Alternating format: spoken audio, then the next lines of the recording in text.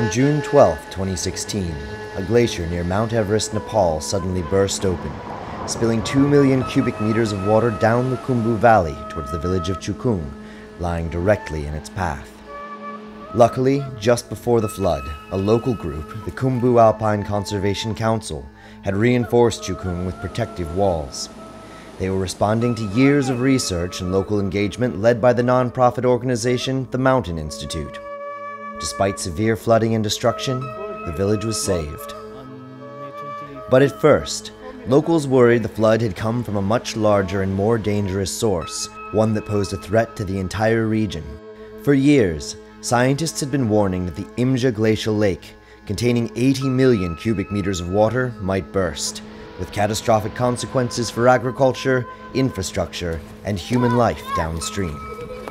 One of my friends here is from Dingboche, Mingma Sherpa. He just called me that Imja is, Imja is going to burst because there was a very loud sound of the rivers falling down. So we just ran away from Namche Bazaar to the helipad. The flood experienced by Chukung had not come from Imja, but from pockets of meltwater trapped in the nearby Lhotse Glacier, part of the fourth highest mountain in the world. As summer temperatures rose, the water pockets inside the glacier were suddenly released. The Lhotse flood was a sign that the threat from Imja was growing, and with it, the danger of a vastly more destructive flood. With the Imja Glacier melting away due to climate change, the lake expands and is now over a square kilometer in size. We have observed in the past that many glacier lakes have formed and, and uh, grew pretty rapidly. In total, I think Nepal experienced somewhere around 24 to 30 glacier lake outburst floods. In 1985, the nearby Dig Tsho Lake burst, killing five people and destroying a hydropower project downstream. And in the Peruvian Andes, a glacial lake outburst flood in 1941 claimed nearly 2,000 lives in the city of Huaraz. Imja Lake is situated directly above the Khumbu Valley. Best known for Mount Everest, it is an essential site for Nepal's tourism economy, as well as home to a unique ecosystem and indigenous Sherpa culture, all of it threatened by a potential flood from the lake above.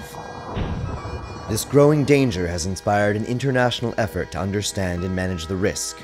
Begun by Japanese scientists in the 1980s, the collaboration soon involved scientists from around the world.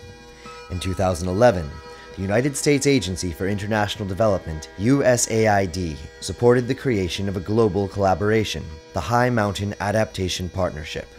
Glacier scientists from around the world set out to Imja Lake to look for risk management solutions and meet with local community members. South Asian scientists then traveled to Peru to gain insight from Peru's 50 years of experience in controlling dangerous Andean glacial lakes. But upon returning to Imja, scientists were amazed to discover that the Imja Lake was expanding by as much as 70 meters per year as the glacier melted away. Like this. this is just three months. This is massive. New studies were conducted, bathymetry to determine the lake's depth and volume, ground penetrating radar to determine the makeup of the moraine, the earth and ice dam that holds back the lake water, and electroresistivity to determine seepage paths within the moraine. In 2014, USAID supported a community outreach program to educate local people about climate change risks and gain insight into how to manage the problem. Drawing on this local perspective, in 2016 the United Nations Development Programme, or UNDP, funded an effort to reduce the risk from Imja Lake by draining out some of its water. But draining a lake in one of the highest valleys on Earth would prove to be no easy task. It would be the first project of its kind at such an altitude, 5,000 meters, or 16,500 feet above sea level. In fact, when the government of Nepal held a bidding process for construction contractors, no one would even take the job. Nobody wanted to take that risk, so there was no tender actually.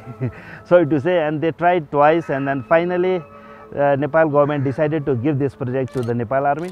Alongside the Nepalese army, geomorphologist Dhananjay Regmi led the construction effort and almost immediately was faced with unique challenges. It is the world first such project at that altitude.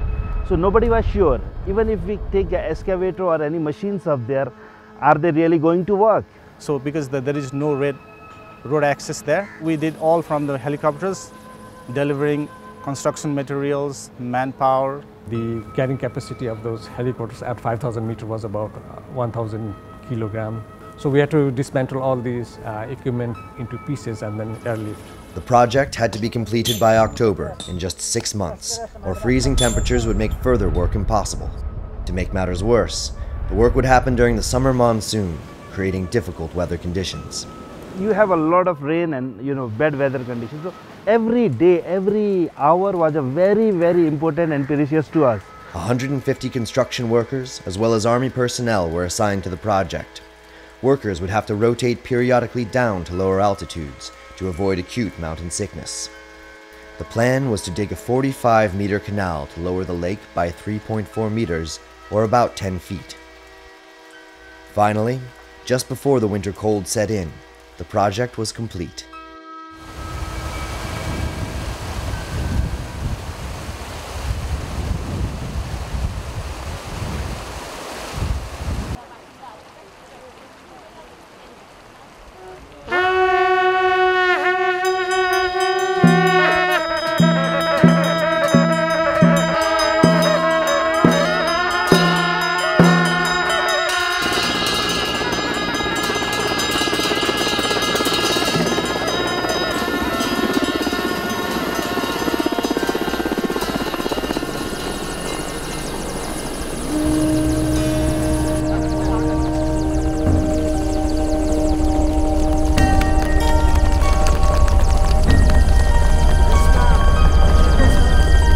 Finally, the work has done, and we are very thankful to uh, DHM, USAID, UNDP, and Dhananjay Regmi Alton Byers for all the support to hear the locals' voice. Nepal Army has done a very grateful job. This project give a very clear example that Nepali people, they are not only good for the climbing the mountains, they are really good scientists, they are really good engineers and they are capable of solving the very complex problems. Climate change is a really a very serious issue and uh, it is not an issue for one country or another country. This is the global problem and global issue and we need to tackle it uh, combinedly, jointly.